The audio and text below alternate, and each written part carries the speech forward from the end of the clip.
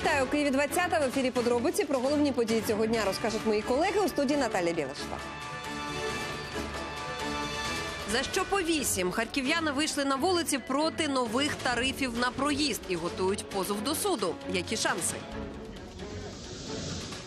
Афера в університеті у Кропивницькому з іноземців, які заплатили за навчання, вимагають гроші повторно. Хто заробив на студентах? Буремна Європа масовими протестами охоплені Італія, Іспанія і Сербія. Чого вимагають? Армія по багатому. Німеччина збільшує фінансування збройних сил. Наскільки і до чого тут Америка? Скасувати рішення про підвищення тарифів на проїзд вимагають харків'яни. З плакатами в руках вони вийшли на центральну площу міста. Що робитимуть далі? У сюжеті Світлани Шекери. Харків'яни, які виходять з метро, кажуть, за п'ять днів, відколи проїзд у підземці здорожчав майже вдвічі, з п'яти одразу до восьми гривень, відчули це на своїх кишенях. Тяжело. Конечно, это существенно. Сейчас каждая копейка существенна. Ця жінка написала плакати і прийшла на площу. Підрахувала відтепер родина з чотирьох осіб витрачатиме на проїзд майже 4 тисячі гривень на місяць. Жінка обурена. Міська влада не показала людям прозорих розрахунків. Можно повышать тариф до бесконечности. Но если э, этот тариф не оправдан и никак не контролируется никем, то это просто ну, повышение тарифа в бездумную бочку. Харків'яни роздратовані, не бачать у роботі міськелектротрансу ні комфорту, ні розвитку, тому і не розуміють, за що платять. У Києві метро 8 гривень коштує, теж як у нас підвисили.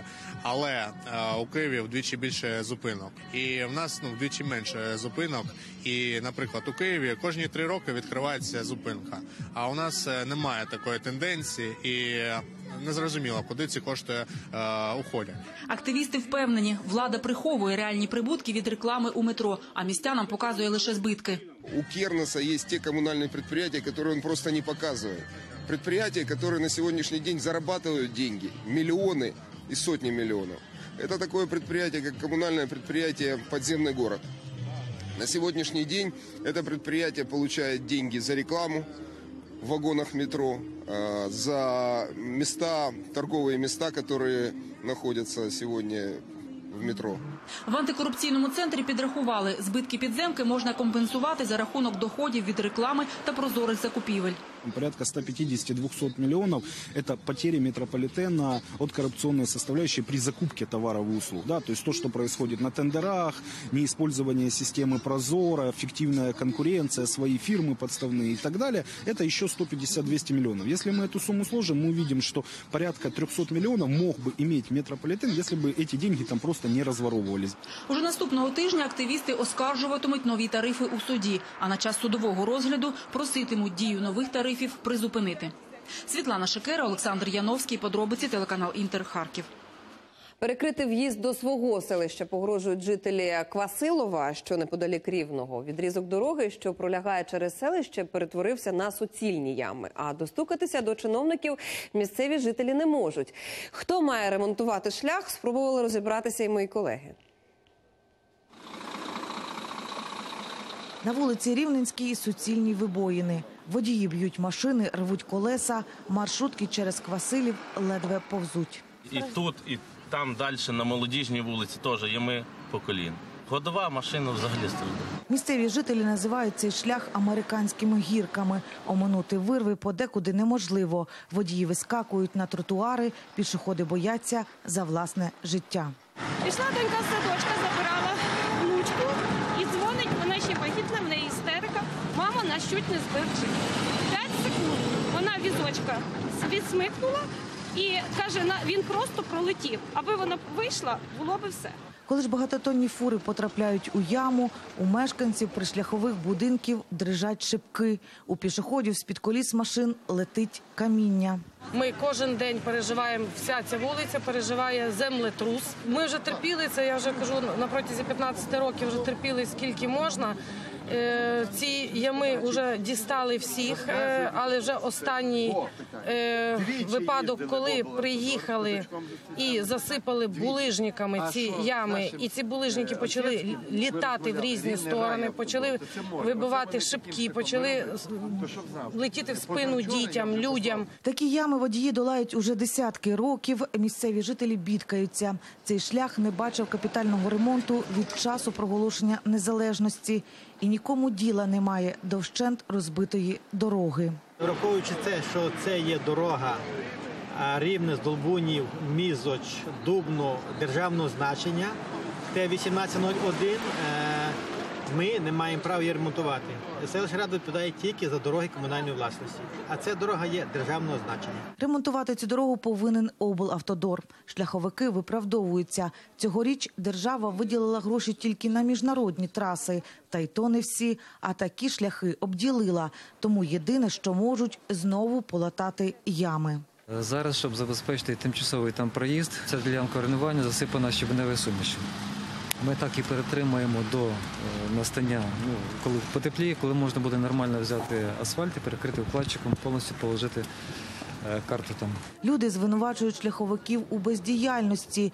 Ті, начебто, інколи щось тут ремонтують, бралися латати навіть у сніг. Та за місяць від їхньої роботи не залишилось і сліду. Людям же терпець увірвався. Ми готові на крайні міри піти, поки нам не зробиться капітальний ремонт дороги.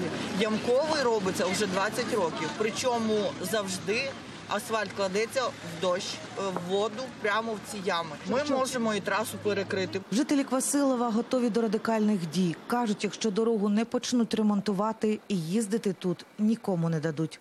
Сніжана Сидорук, Микола Василюк, подробиці телеканал Інтер, Рівненська область. За минулу добу на Донбасі ворог 10 разів обстріляв позиції наших військових. Окупанти застосовують стрілецьку зброю, панцерники і б'ють із великих калібрів. Внаслідок обстрілів троє армійців зазнали поранень. На Донецькому напрямку гаряче було у районі Авдіївки та Пісок. Там найманці гатили з мінометів 82-го та 120-го калібрів. На Луганщині із цієї зброї бойовики вдарили по позиціях поблизу Кримського. Українські підрозділи мусили відповідати на ворожий вогонь За даними розвідки, двоє окупантів загинули, і стільки ж було поранено. Ну, скажем так, а вот, в принципе, каждую ночь активизируется уже там, скажем так, крупная артиллерия. И там артиллерийские дуэли фактически происходят постоянно, то есть каждую ночь до утра. А под утро уже, то есть, ну, все переходят в какой-то спящий, аб- адекватный спящий режим. И то есть уже больше там сражается, скажем так, одни пехотные подразделения. Щедра обіцянка. Німеччина готова збільшити витрати на оборону і вже повідомила про це керівництво Північно-Атлантичного альянсу. Скільки грошей отримає оборонний сектор і чому цей крок вже називають реверансом у бік Сполучених Штатів? Знає Тетяна Логунова. Німеччина йде на поступки і готова збільшити видатки на оборону. Офіційний Берлін обіцяє альянсу виділяти на фінансування бундесверу півтора відсотка від валового внутрішнього продукту. У цифрах це означає збільшення оборонного бюджету до 60 мільярдів євро на рік. Про щедру обіцянку повідомили не представники німецького уряду, а місцеві змі. За їх даними, посол країни при НАТО вже передав генсеку альянса документ, у якому детально розписано стратегію фінансування оборонного сектора. На папері чітко зафіксовано зобов'язання збільшити видатки на армію протягом наступних шести років до позначки півтора відсотка від ВВП. Далі ще більше. Такий крок Німеччини відповідь на критику з боку Сполучених Штатів. Президент Дональд Трамп не раз звинувачував партнерів по альянсу і передусім Німеччину в тому, що вони виділяють на оборону значно менше ніж було домовлено, і погрожував, якщо союзники не відкриють гаманці, то Сполучені Штати можуть взагалі вийти з НАТО. Американці на німецьку обіцянку поки що не відреагували. Втім, раніше офіційний Вашингтон наполягав, усі члени альянсу повинні виділяти на оборону щонайменше 2% від ВВП. Наразі це роблять лише 8 країн блоку. Серед них США, Польща, Греція, Румунія, Велика Британія, Естонія, Латвія та Литва. Тетяна Логунова, Вячеслав Фролов, подробиці німецьке бюро телеканалу Інтер. Антиурядові протести прокотилися низкою європейських країн цими вихідними. Тисячі людей вийшли на головні площі Мадрида, Рима, Белграда. Як і чому протестували? Про це у матеріалі Олени Абрамович. На протести щосуботи, як на роботу, серби ходять уже третій місяць поспіль, і кількість учасників демонстрацій тільки зростає. Підкинув хмизу у багаття сам президент, проти якого й протестують, коли сказав, що не піде на поступки, хай навіть 5 мільйонів на вулиці вийде. Тепер демонстранти озброїлися гаслом Я один із п'яти мільйонів і продовжують вимагати відставки Олександра Вучича та керівної партії. Їх звинувачують в утисках медіа та опозиційних сил. Я хочу, щоб змінилася влада, бо вони безнадійні. Вони привели країну в темряву. Сумно, але тільки ці демонстрації дають хоч трішки надії. Гадаю, Сербія просто спорожніє, якщо ми не досягнемо своєї мети. Тут просто не залишиться молоді. А в Мадриді протести уперше за довгий час. Там у неділю правоцентристські політичні сили вивели на вулиці тисячі обурених політикою прем'єра Педро Санчеса. Він у вівторок запропонував перемовини з Барселоною, аби зменшити напругу у відносинах із каталонцями. Іспанці сприйняли це як зраду. У партії соціалістів найгірші результати в історії. І що ми маємо? Особа, яка отримала ці результати, наразі керує урядом і ухвалює найважливіші в історії Іспанії рішення. Тому ми вимагаємо перевиборів. Ми хочемо, аби влада не йшла на поступки каталонським сепаратистам, щоб закон та конституція виконувались. У Римі людей на вулиці вивели профспілки. Зібралася найбільша за останні чотири роки демонстрація – близько 200 тисяч протестувальників. Як виявилося, анонсовані урядом цього тижня 780 євро базового доходу для безробітних та малозабезпечених багатьох роздратували. Демонстранти кажуть, влада відірвалася від реальності. Звісно, допомога це важливо, особливо для людей, які залишилися без доходу. Але економічне зростання значно важливіше, бо без нього не буде роботи, а без роботи немає гідності. Урядові заходи не створять робочих місць. Італія потребує інвестицій в інфраструктуру, дослідження та інновації, аби бути конкурентоспроможною на світових ринках і забезпечити усіх робочими місцями. Про провальність італійського бюджету раніше попереджали і в ЄС. У Брюсселі до останнього не погоджувалося затверджувати документ, який передбачав неприйнятно високий дефіцит. А після виходу офіційної статистики про чергове зниження ВВП країни профспілки вирішили, що час виводити людей на протест. Олена Абрамович, Віталія Кушмарук, подробиці телеканал Інтер. В Нацполіції прокоментували бійку із протестувальниками та затримання членів організації Сі 14 Я нагадаю, цей інцидент стався вчора на столичній контрактовій площі під час акції Хто замовив Катерину Гандзюк. За словами правоохоронців, серед учасників вони виявили групу осіб із зеленкою, газовими балончиками та ножами. Десятьох молодиків доставили у відділок. Пізніше їх відпустили, але хлопці відмовилися йти і викликали однодумців. В прим- в приміщенні поліції активісти влаштували провокації. Поліція затримала кілька десятків людей і вилучила у них зброю. Крім того, державне бюро розслідувань порушило справу проти правоохоронців, адже деякі з них кричали в бік актив- активістів Бандера лягай.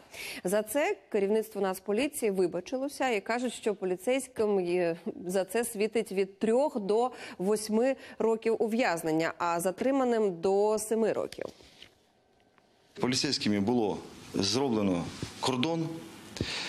І після чого останні ці, е, скажімо, група підтримка почала їх наносити удари. Зараз оглядаються камери відеоспостережень, опитуються свідки. У них було вилучено дуже багато холодної зброї, це ножі, це е, сльозогінні е, газові балончики, а також зброя. По діям працівників поліції порушено кримінальне провадження за статтею 345 перевищення влади або службових повноважень і проводиться слідство. По образливому вигуку, який допустив е, наш працівник, я особисто, як керівник поліції Києва, хочу вибачитись перед суспільством за дії цього працівника. Я особисто е, в силу свого переконання і силу розуміння історичної ситуації в Україні вважаю це неприпустимим. Ну а тим часом у генпрокуратурі вже готують підозру поліцейському, який бив ногами людину і кричав про Бандеру. Юрій Луценко на своїй сторінці у Фейсбуці заявив, що ГПУ вже відома особа цього правоохоронця. Прокоментував вчорашні події і голова МВС. А Арсен Аваков заявив, що за інцидентом можуть стояти штаби кандидатів у президенти. Тож він звинувачує їх у розпалюванні ненависті.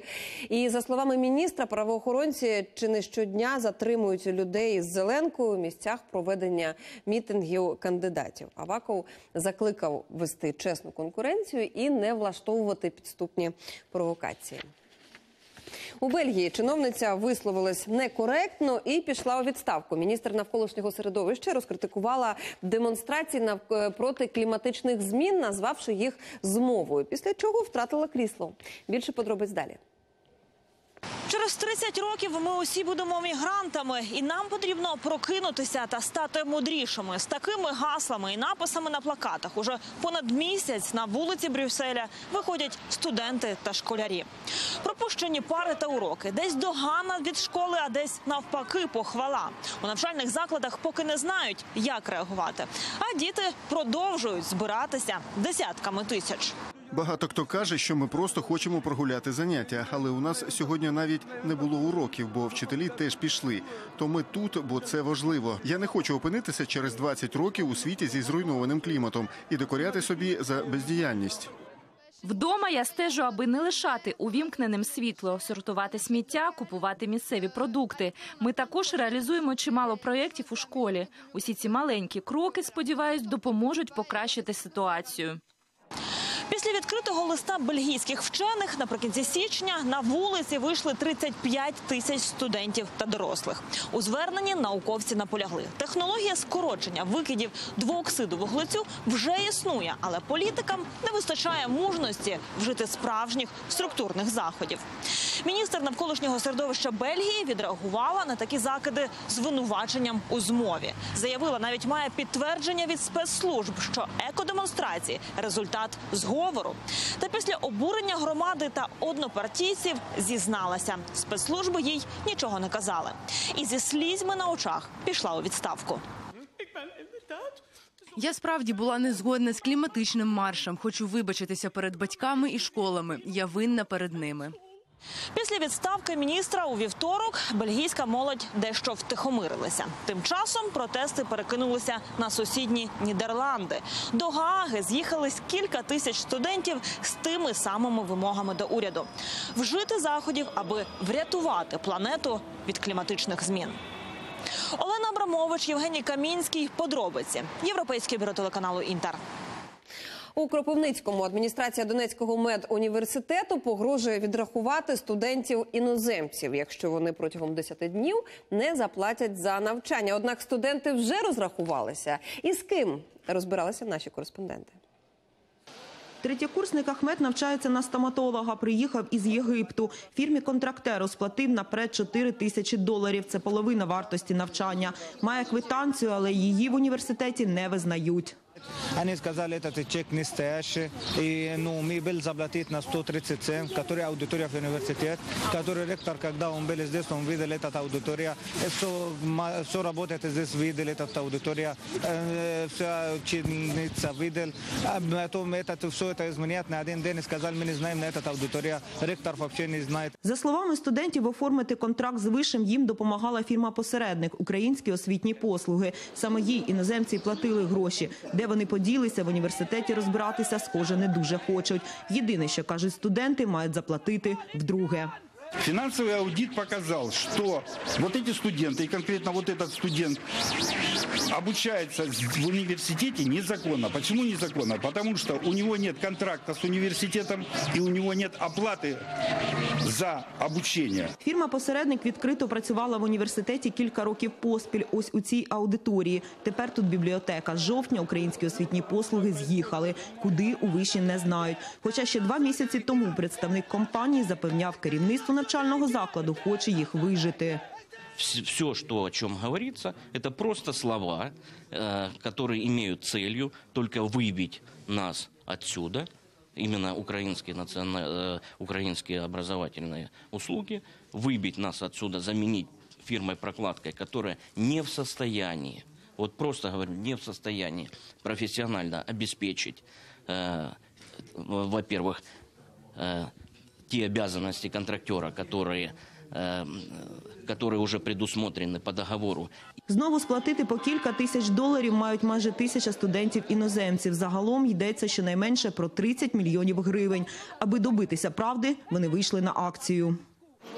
Not. Ошукані студенти наприкінці минулого року звернулися до правоохоронців. Розслідуванням займається СБУ. Днями справа зрушила з місця. Ректору Донецького медуніверситету та представнику компанії посередника оголосили підозру. Обом закидають хабарництво. Хто ще причетний до шахрайської схеми, мають встановити слідчі. Олена Бринза, Володимир Кувакін. Подробиці телеканал Інтер. Кропивницький. Не допустити дерибану санаторію Лермонтовський, закликає Сергій Каплін. Нардеп приїхав до Одеси, щоб розібратися у ситуації довкола захоплення цього закладу. Я нагадаю- нагадаю, 25 січня силовики зайняли санаторій, лікарів і персонал вигнали, установу знеструмили. У Федерації профспілок стверджують, що ці дії незаконні. Каплін провів перемовини з міністром оборони, обговорив можливість створення наглядової ради, до якої увійдуть громадські активісти, волонтери, депутати місцевих та обласної ради. А допоки триватиме е, судова тяганина, вони контролюватимуть роботу цього закладу. санаторій Лермонтовський знаходиться в надзвичайно плачевному стані. Причина дуже проста: юридично не можуть вирішити питання між собою. Тепер же Міністерство оборони, раніше це було Міністерство юстиції, і безпосередньо Федерація профспілок України і керівництво поставлене Федерацію профспілок України. Справа до цього часу знаходиться в судах. І я не допускаю навіть думки, щоб за рік, два, три судових процесів, а ми матимемо саме ці терміни, тут все розвалилося, заросло, і головне, не дай Бог, розікралося. Громадські активісти заявляють про блокування владою конкурсу на посади суддів Верховного суду України. Я нагадаю, конкурс на 78 вакантних посад. Вища кваліфікаційна комісія суддів розпочала ще у серпні. Результати мали оголосити на початку року. Утім, як заявляють юристи та експерти, рішення відкладають через спроби влади просунути до Верховного суду своїх кандидатів. Про кого йдеться і хто покриває корупцію у вищих лавах юстиції? Дивіться розслідування подробиць наступного тижня. До суду із церковними справами на Волині та Тернопільщині храми переписують з однієї громади в іншу. Парафіяни сваряться, церкви зачиняються, а священнослужителі не можуть поділити майно. Уповають, урешті-решт, на служителів Феміди. Який він церковний розбрат? Дивіться наш репортаж. Ще сонце не зійшло, а поблизу воріт церкви Різдва Святої Богородиці у селі Зубильне зібралися віряни. Не можуть дійти згоди, хто сьогодні проводитиме богослужіння. Буде час, і ми гарненько станемо служити всі, як стане і Епіфаній. Люди предлагають вам, вставайте і служіть з ними. Ще тиждень тому селяни на зборах у школі вирішували, чи переходити до православної церкви України. Було багато і прибічників такого кроку, втім були і противники. Та попри це храм уже встигли перереєструвати. Вона прийнята в клір. Відповідно, ми хотіли сьогодні помолитися з громадою, з тими людьми, які проголосували за це рішення і хотіли б потрапити до храму. Але храм виявився закритий. Настоятель храму від Української православної церкви таку зміну юрисдикції називає незаконною. Документи нелегітимними. каже, останнє слово має сказати суд. Священнослужитель дії громади оскаржив. Застерігаю і священнослужителів, які без нас переводять в іншу єпархію, не маючи на цих ніяких юридичних підстав, бо ми маємо і акт на землю, ми платимо по цьому податок, наші всі звіти приймають сьогодні органи влади. Ми сьогодні не відкривали храм, так як були погрози із тих, хто буде приїжджати, що ми заберемо ключі, ми війдемо. Я на даний час відповідальний керівник зараз. За дві години людей поблизу храму зібралося до півсотні. Приїхали місцеві чиновники. Хтось викликав поліцейських. У храм ніхто не зайшов. Молилися біля дверей церкви. До служби доєдналися усі, хто раніше посварився. Та спільно молитися наразі у Зубильному не хочуть, але і прихильники ПЦУ, і парафіяни УПЦ сподіваються на мирне вирішення долі храму. А на Тернопільщині у селі Гніздичному, щоб не допустити сутички між релігійними громадами, від сьомої ранку чергували десятки поліцейських. Живим ланцюгом вони стали між релігійними громадами Української православної церкви та помісної української церкви. Ворожнеча між жителями Гніздичного почалася після того, як частина з них вирішили перейти до ПЦУ. Тоді домовились про проведення богослужінь. Та минулої неділі обидві громади прийшли на службу одночасно. Завершилося усе кривавою бійкою. Найбільше дісталося отцю Стефану. Чоловіка із забоями шпиталізували. Били нашого священика і нас штурхали, е, били е, місцеві жителі і також поліція. По голові його били, по грудях. І багато, ну просто було таке беззаконня. Вони прийшли на нашу годину. Ми попереджали, що може бути конфлікт. І голова, котрий мав відкрити нам храм, він не відкрив нам храм. Він ключі кинув на землю. І ключі віддали їхній стороні. І вони брутально почали нас скидати, бити, штовхати. Ну, відбулося таке побиття. Та у представників Православної церкви України своя версія. Запевняють, конфлікт спровокували опоненти, після чого вони і закрили храм. Рішили опечати церкву, де ми зробимо, складемо комісію, перепишемо все майно, пофотографуємо, зробимо таку книжку, бо щоб в церкві було знати, що зберігається. Не пускають нас в храм помолитися Богу. Нам не дають, не дозволяють нам в храм зайти. Самі бачите, закрили, запечатували. Я 30 років сама особисто, я не кажу ні за кого, сама особисто 30 років проходила, приспівала. Я не маю права зайти в той храм. А якщо преступниця, га? Скажіть мені, будь ласка. Нині обидві громади проводять службу на дворі. Перед храмом між ними стіна поліцейських. Сьогодні обійшлося без бійки, але проводити так богослужіння і далі не вихід, кажуть представники УПЦ. Пропонують відкрити церкву і повернутися до графіку почерговості, яким користувалися досі. Дві громади досягли домовленості, а храм один почергово використовувати. Одні зранку, другі в обід, на другу неділю міняємося. Ті зранку, ті в обід. Саме краще, що можна придумати в даній ситуації. Ми пішли на посад, вони кажуть, це не добре. Ну ясно, що не добре. Ми не хочемо, щоб два господарі, ми не... але ну так сталося. Чи вдасться двом громадам досягнути компромісу, невідомо. Поки що віряни домовились наступного тижня почергово провести богослужіння біля храму. Іван Нейліна, Андрій Кравець, Леоніта Борін. Подробиці телеканал Інтер.